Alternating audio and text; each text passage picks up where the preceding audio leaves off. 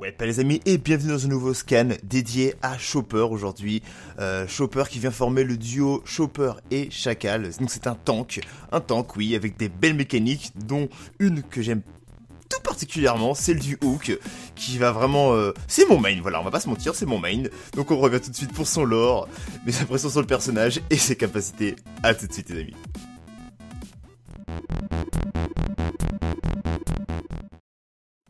Mako Rutledge, habitant de l'intérieur de l'Australie, vu lui et les siens chassés de leur territoire. Furieux et vindicatif, Mako et d'autres résidents se sont révoltés et ont formé le Front de Libération australien, et mènent une guerre pour récupérer leur territoire. Mais la fin de cette guerre ne fut glorieuse pour personne, car même si l'Omnium a disparu, les terres que défendait Mako aussi. Afin de s'adapter à son nouvel environnement, il enfila un masque et barouda sur les autoroutes en ruine. Mako était devenu Chopper. Sa première capacité, déferrailleur. Chopper avec son arme tire sur courte portée mais à cône large. Vous pouvez gagner en portée en un clic droit pour lancer une boule détonnante. Traquenard, la seconde est peut-être la meilleure capacité de Chopper. C'est un hook qui ramène votre cible à vous.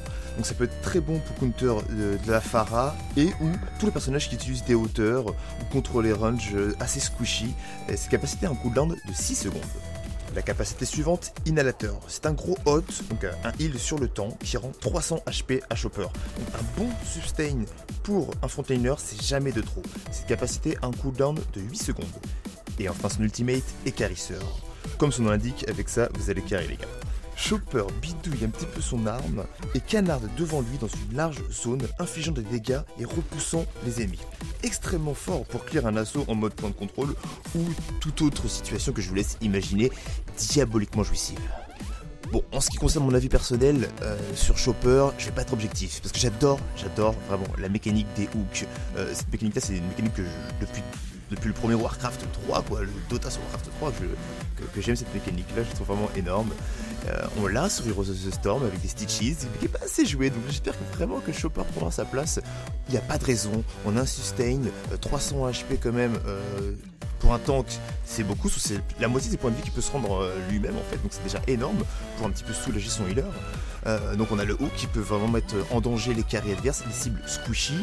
On a, on a l'ultimate qui est un petit peu badass effectivement pour les points de contrôle, pour maintenir une position. Franchement, je pense pas qu'on puisse faire mieux actuellement. Donc vraiment Chopper, un tank comme on les aime, un tank comme sera mon main.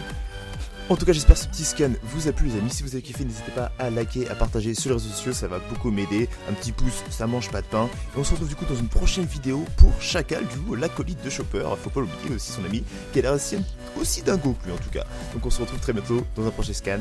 Ciao, ciao, les amis.